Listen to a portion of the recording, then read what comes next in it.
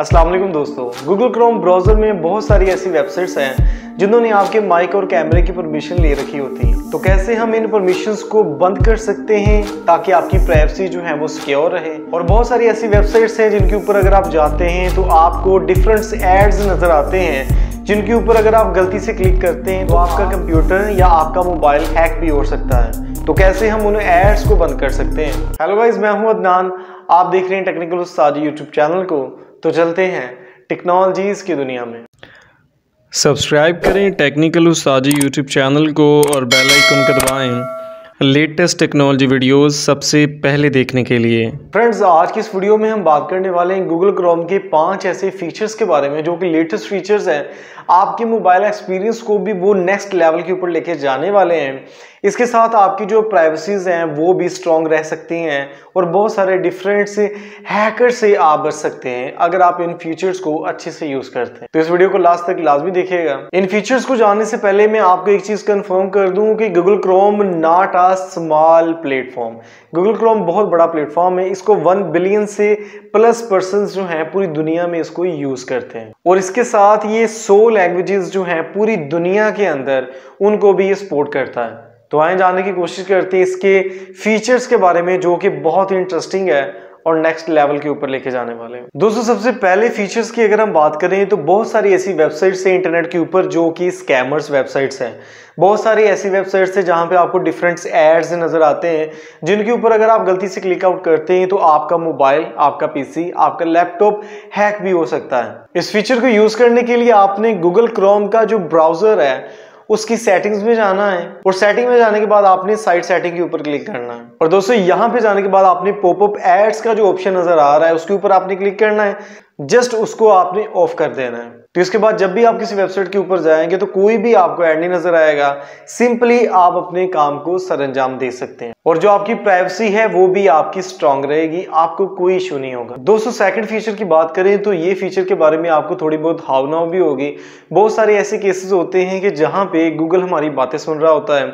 बहुत सारी ऐसी वेबसाइट्स होती हैं जो कि हमारी बातों को सुन रही होती है। और जिस भी हम प्रोडक्ट का नेम लेते हैं या कोई भी प्लेस के ऊपर हम जाते हैं या कोई भी हम एक्टिविटी करते हैं तो वो जब हम बोलते हैं, किसी फ्रेंड से बात करते हैं तो ऑटोमेटिकली वेबसाइट्स जो हैं, हमारे माइक के थ्रू हमारी इंफॉर्मेशन जो है उसको स्टोर करती हैं। उसके बाद हमें एक या दो दिन के बाद वही एड वही चीज़ इंस्टाग्राम के ऊपर फेसबुक के ऊपर या यूट्यूब के ऊपर हमें देखने को मिलती है। तो ये जो वेबसाइट्स हैं, ये आपके माइक की और आपकी कैमरे की परमिशन ले लेती हैं जिसकी वजह से आपकी टोटल प्राइवेसी को कंट्रोल कर लेती हैं, ताकि अपनी एडवर्टाइजमेंट जो है, उसको अच्छे तरीके से कर सकें।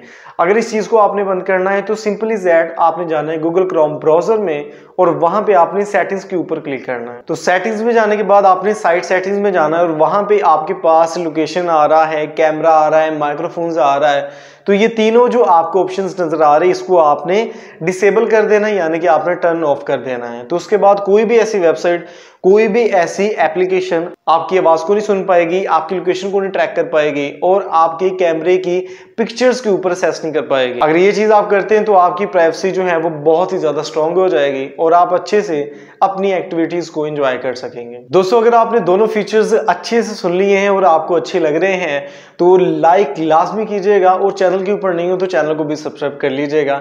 इसके बाद हम नेक्स्ट फीचर की बात करते हैं। दोस्तों नंबर थ्री फीचर की बात करें तो ये बहुत ही डिफ़िकल्ट फीचर है। यानी कि यहाँ पे आपको वो चीज़ें जो है वो मिल रही हैं जो कि आप नहीं कर रहे।